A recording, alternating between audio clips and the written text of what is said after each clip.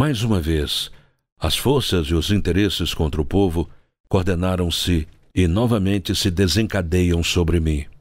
Não me acusam, insultam, não me combatem, caluniam e não me dão direito de defesa. Precisam sufocar a minha voz e impedir a minha ação para que eu não continue a defender, como sempre defendi, o povo e principalmente os humildes. Sigo o destino que me é imposto. Depois de decênios de domínio e expoliação dos grupos econômicos e financeiros internacionais, fiz-me chefe de uma revolução e venci. Iniciei o trabalho de libertação e instaurei o regime de liberdade social. Tive de renunciar. Voltei ao governo nos braços do povo. A campanha subterrânea dos grupos internacionais aliou-se à dos grupos nacionais revoltados contra o regime de garantia do trabalho. A lei de lucros extraordinários foi detida no Congresso. Contra a justiça da revisão do salário mínimo se desencadearam os ódios. Quis criar liberdade nacional na potencialização das nossas riquezas através da Petrobras.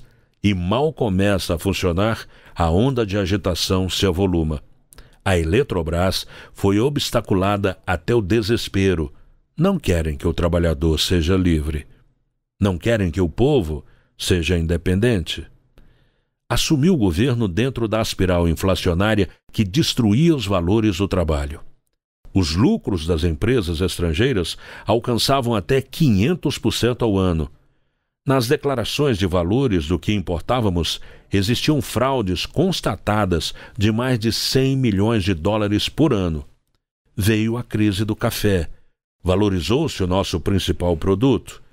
Tentamos defender seu preço e a resposta foi uma violenta pressão sobre a nossa economia, a ponto de sermos obrigados a ceder.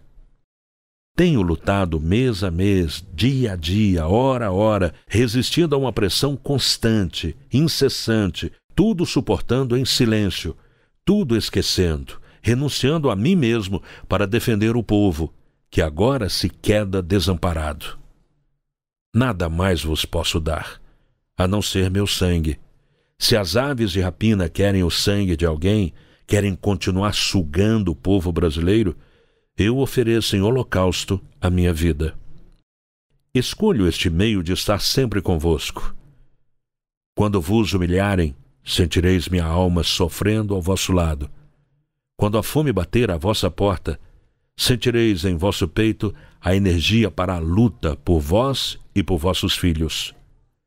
Quando vos vilipendiarem, sentireis no pensamento a força para a reação. Meu sacrifício vos manterá unidos, e meu nome será a vossa bandeira de luta.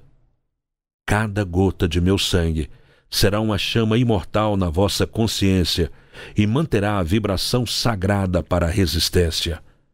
Ao ódio, respondo com o perdão.